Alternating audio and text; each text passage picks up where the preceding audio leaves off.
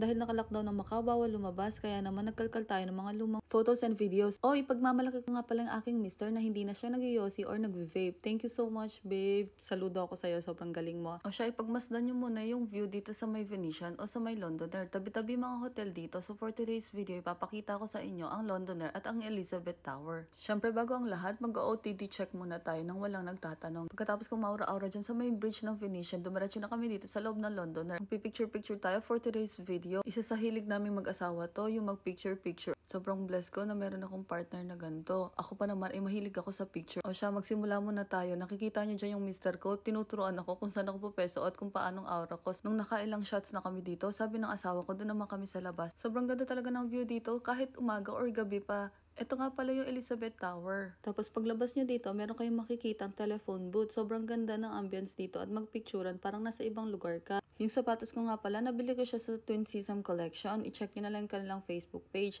O siya, aura muna tayo. O mga mare, i-flex nyo na yung asawa nyo na super supportive para lang may i-post kayo sa Instagram and Facebook nyo. Tapos na kami. Siya mga mare, ito yung mga ilan-ilan sa mga pictures na nakuha na ng aking mister. Hindi ko na nailagay lahat kasi baka sobrang haba na to. Yun lang. Thank you so much. Buyers!